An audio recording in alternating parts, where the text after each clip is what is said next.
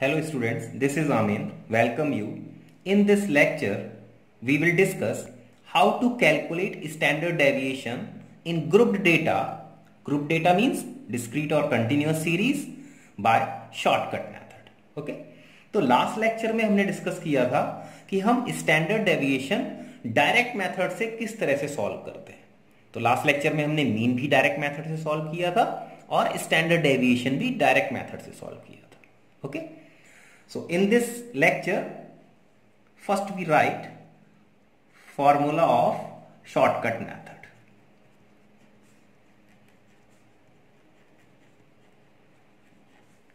of standard deviation तो इसका formula क्या होता है?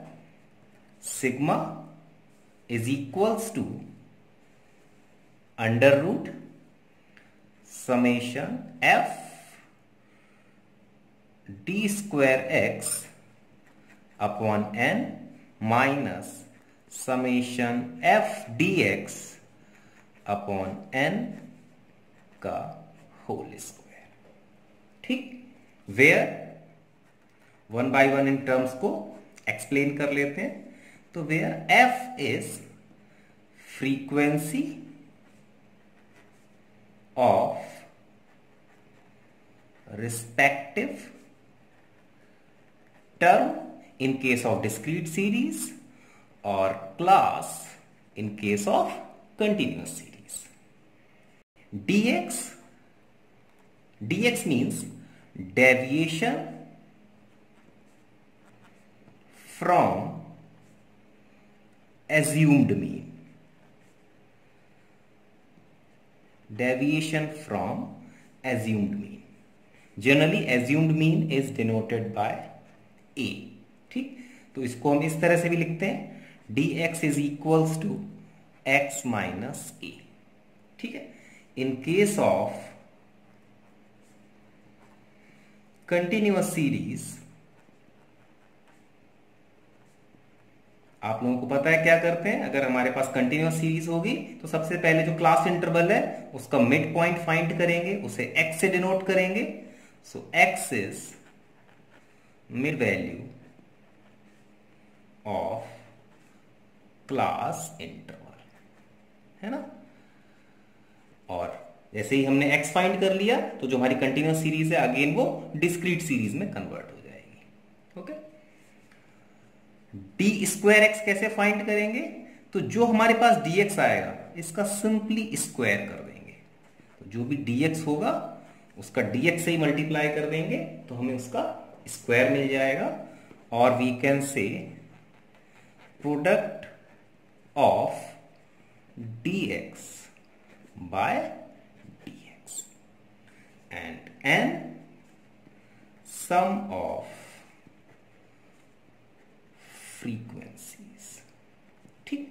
तो जब हमें ये सारी चीज़ें पता होंगी तो हम आसानी से शॉर्टकट मेथड को यूज़ कर सकते हैं फॉर फाइंडिंग स्टैंडर्ड डेविएशन ठीक है ना? कई बार यहाँ पर स्टैंडर्ड डेविएशन को हम एसडी से भी डिनोट करते हैं, है ना? तो एसडी और सिग्मा और स्टैंडर्ड डेविएशन इन सब का एक ही मतलब है। ठीक है? So don't be confuse okay इन सब का एक ही मतलब है। हम किसी भी सिंबल से इसको डिनोट करते हैं। जनरली हम इसको सिग्मा से डिनोट करते हैं ओके तो ये हमारा शॉर्टकट मेथड का फॉर्मूला है अब इसके बेस पर एक क्वेश्चन करते हैं और देखते हैं कि हम किस तरह से इस शॉर्टकट मेथड को यूज़ करते हैं फॉर फाइंडिंग स्टैंडर्ड डेविएशन और साथ ही साथ हम सीखेंगे कि मीन अगर हमें फाइंड करना है तो मीन के लिए भी हम शॉर्टकट मेथड किस तरह से यूज़ करते हैं okay now we take numerical. Calculate mean and standard deviation from the following data by shortcut method. ठीक? तो हम शॉर्टकट मेथड का यूज़ करेंगे और standard deviation and mean find करेंगे। आप लोग देख रहे होंगे कि सेम क्वेश्चन है।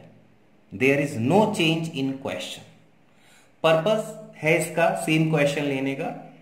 क्योंकि हम मेथड अलग अलग यूज़ कर रहे हैं तो हमें वो डिफरेंस पता होना चाहिए कि हम डायरेक्ट मेथड क्यों यूज़ करते हैं, क्या बेनिफिट है उसके। या शॉर्टकट मेथड अगर हम यूज़ कर रहे हैं तो इसके क्या बेनिफिट है। तो लास्ट क्वेश्चन में आपने देखा होगा कि वहाँ पर कैलकुलेशन थोड़ी सी कॉम्प्लेक्स थी, क्योंकि वहाँ डेसिमल्स आ रहे थे, हमें प्रोडक्ट करना पड़ रहा था। तो विदाउट कैलकुलेटर बहुत ज़्यादा आसान नहीं था, है ना? लेकिन यहाँ पर शॉर्टकट मेथड जो हम यूज़ करते हैं तो आप देखोगे कि कैलकुलेशन के पॉइंट ऑफ़ व्यू से आपका क्वेश्चन आसान हो जाता है, ठीक? So now we solve this question so X हमारे पास गिवन है डेटा को यहाँ पर लिख लेंगे और इसके रिस्पेक्टिव जो फ्रीक्वेंसीज है वो यहाँ पर लिख लेंगे ठीक? तो x की वैल्यूज़ है हमारे पास 45, 50, 55, 60, 65, 70, 75 एंड 80 इसके रिस्पेक्ट में फ्रीक्वेंसीज गिवन है three five eight seven nine seven four seven and sum of frequency last lecture से आपको पता है और आप सम भी कर सकते हो, इतना ज़्यादा टफ नहीं है। तो सम ऑफ़ फ्रीक्वेंसी इज़ 50 ठीक? अब हमें शॉर्टकट मेथड यूज़ करना है। सबसे पहले हम मीन फाइंड कर लेते हैं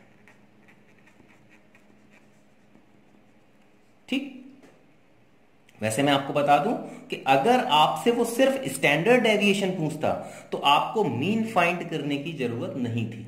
क्योंकि हम यहाँ पर एज्यूम मीन लेते और उसके थ्रू हम डायरेक्टली शॉर्टकट मेथड का यूज़ करके स्टैंडर्ड डेविएशन फाइंड कर लेते। ठीक है? तो आप लोग याद रखना, अगर आपसे डायरेक्ट स्टैंडर्ड डेविएशन पूछता है तो आपको मीन फाइंड करने की ज़रूरत नहीं है। है ना? और अभी आप जब ये क्वेश्चन सॉल्व करोगे तो आपको समझ में भी आ जाएगा कि मैं ये क्यों कह रहा हूँ। लेकिन मेरा पर्पज है कि आपको मीन भी कैलकुलेट करना आ जाए by shortcut method and standard deviation तो मीन का फॉर्मूला क्या होता है?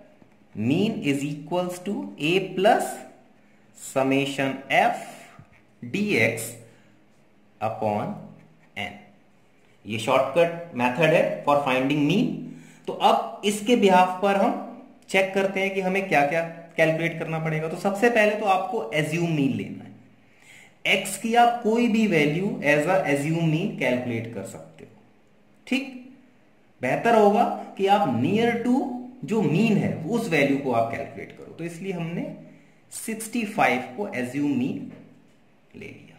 ठीक? तो अब हमें क्या लेना है? D X D X means X minus sixty five which is your assume mean ठीक? आप यहाँ से कोई भी वैल्यू लेके सॉल्व करोगे आंसर सेम आएगा। वहाँ कोई प्रॉब्लम नहीं है। ठीक? तो x माइनस एज्यूम मीन कर दिया हमने। तो अब क्या करेंगे? x की हर वैल्यू में से हम 65 को माइनस कर देंगे। और जैसे ही आप माइनस करोगे तो आपको मिलेगा minus twenty minus fifteen minus ten minus five zero five ten fifty ठीक? अब हमें एफ़ डी एक्स चाहिए तो कैसे मिलेगा? एफ़ का डी एक्स से मल्टीप्लाई कर देंगे तो एफ़ डी एक्स मिल गया। तो जब इसका मल्टीप्लाई करेंगे तो ये आप आसानी से कैलकुलेट कर सकते हो। कितना आ गया ये? माइनस सिक्सटी, ये आ गया minus seventy five, minus eighty, minus thirty five, zero, thirty five, forty और जब इसको मल्टीप्लाई करेंगे तो ये आ जाएगा 105 और इसको आप आसानी से ऐड कर सकते हो, है ना? सेम साइन को ऐड करते हैं और अपोजिट साइन को सब्ट्रैक्ट करते हैं। तो जब आप इसको कैलकुलेट करोगे तो ये आ जाएगा माइनस सेवेंटी ओके सो अब वैल्यूज़ पुट कर देंगे। ए की वैल्यूज़ हमारे पास है।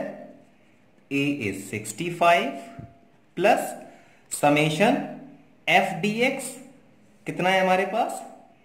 Minus seventy upon N is fifty.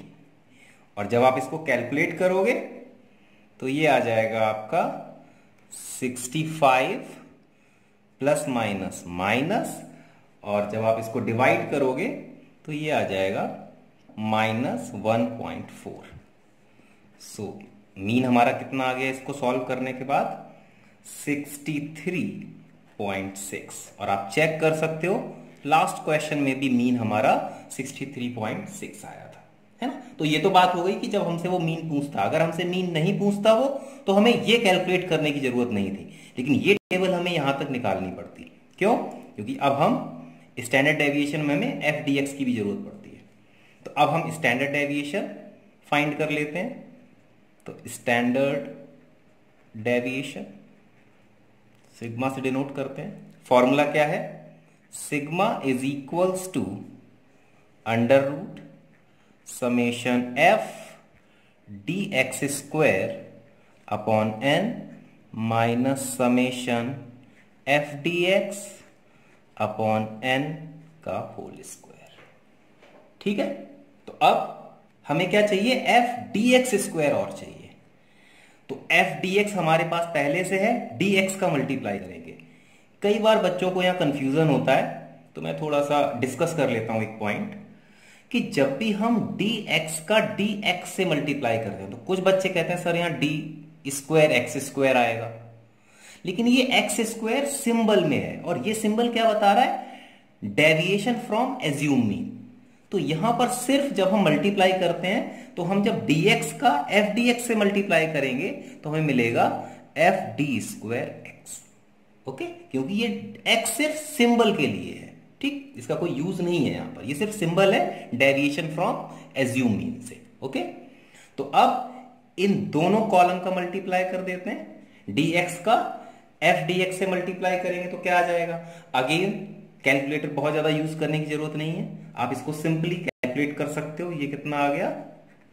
1200 1125 800 175 0 175 400 and 1575 और जब आप इसका सम करोगे तो ये आ जाएगा 5450 ठीक? तो अब आपके पास summation F D square X भी आ गया, क्योंकि ये एफ़ डी एक्स स्क्वायर है, और जब इसका सम करेंगे तो summation F D X square मिल जाएगा। एन की वैल्यू आपके पास है एफ़ डी एक्स आपके पास है तो अब आप ये सारी वैल्यूज़ यहाँ पुट कर सकते हो। तो जब आप ये वैल्यूज़ यहाँ पर पुट करोगे तो आपको मिल जाएगा five four five zero upon fifty minus bracket minus seventy upon fifty का होल स्क्वायर। और जब हम इसे सॉल्व करेंगे तो हमें मिलेगा under root one zero nine minus one point nine six. और जब हम इसको कैलकुलेट करेंगे तो आपका स्टैंडर्ड डेविएशन आ जाएगा ten point three four six. तो आपने डायरेक्ट मेथड से सॉल्व किया, या फिर आपने शॉर्टकट मेथड से सॉल्व किया मीन और स्टैंडर्ड डेविएशन आपके सेम वही आए हैं जो पिछले क्वेश्चन में आए थे। क्योंकि क्वेश्चन सेम था तो आंसर भी सेम आएगा। बस डिफरेंस क्या है? इन मेथड्स का यूज़ क्या है? तो बेसिकली मैं इस लेक्चर में आपको ये डिफरेंस बताना चाह रहा था कि जब हम डायरेक्ट मेथड यूज़ करते हैं या शॉर्टकट मेथड यूज़ करते हैं। इवन नेक्स्ट लेक्चर में जब हम स्टेप डेविएशन मेथड यूज़ करेंगे तो बेसिकली इन मेथड्स का यूज़ क्या है? है ना? आपने देखा कि जब हम डायरेक्ट मेथड से हमने क्वेश्चन को सॉल्व किया था तो यहाँ पर डेसिमल में वैल्यूज़ आ रही थी। उनको सॉल्व करना थोड़ा सा कॉम्प्लेक्स है। लेकिन जैसे ही हमने शॉर्टकट मेथड यूज़ किया तो अब हमारी वो प्रॉब्लम सॉल्व हो गई। कैलकुलेशन आसान हो गई और इसको हम मैनुअली भी कैलकुलेट कर सकते हैं। और आंसर दोनों का same mean and standard deviation, okay? तो ये पर्पज था सेम क्वेश्चन लेने का, क्योंकि मेथड अलग अलग थे तो आपको ये बताना था कि हम मेथड्स क्यों यूज़ करते हैं। क्या बेनिफिट है डायरेक्ट मेथड यूज़ करने के, करने का, और क्या बेनिफिट है शॉर्टकट मेथड यूज़ करने का, ओके? तो अगर अगर आपको डायरेक्ट मेथड यूज़ करना है तो आप कब करो? अगर आपके पास मीन पॉइंट में नहीं आता तो आप यहाँ पर डायरेक्ट मेथड यूज़ कर सकते थे, क्योंकि ये क्वेश्चन थोड़ा सा आसान हो जाता है यहाँ पर। ठीक? लेकिन अगर आपके पास ये पॉइंट में आ रहा है मीन तो बेहतर है कि आप शॉर्टकट मेथड यूज़ करें। है ना? ओके सो नेक्स्ट लेक्चर में हम डिस्कस करेंगे कि स्टेप डेविएशन मेथड क्यों यूज़ करते हैं, और इवन फिर हम यही लगभग सेम क्वेश्चन के ऊपर डिस्कस करेंगे, जिससे कि आपको पता चलेगा कि जब हम स्टेप डेविएशन मेथड यूज़ करते हैं तो मीन और स्टैंडर्ड डेविएशन किस तरह से फाइंड करते हैं और दूसरा कैलकुलेशन कितनी आसान होती है, क्योंकि ये मेथड सिर्फ़ कैलकुलेशन आसान करते हैं। आंसर्स हर केस में सेम आता है ओके सो थैंक यू